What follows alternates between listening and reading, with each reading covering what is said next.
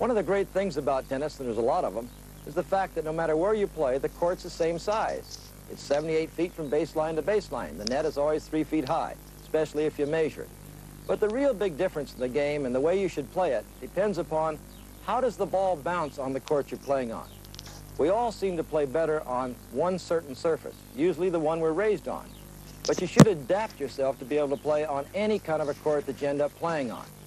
Now let's go to the various kinds of concrete. They can make them slow or fast.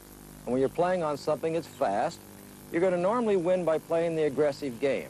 But let's say that you're a steady player. The only thing I can suggest on fast courts, a steady player usually wins by defense. They're going to have to be looking for chances that they must take to keep their opponent from taking over. On a fast court, the volleys are put away easier, the overheads are more impressive, and above all, it's harder to return the serve. Now let's go to the various kinds of clay courts.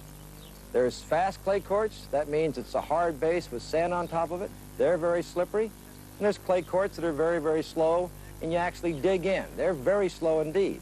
So you have to adjust your game once again. The steady player loves these kind of surfaces, slippery or firm footing. But an aggressive player, boy, he's got to make some changes. He can't come in on his serve.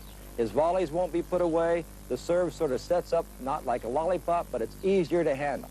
So remember, whenever you go out on the court, check the surface you're going to be playing on and adjust your game mentally. That'll be the big difference.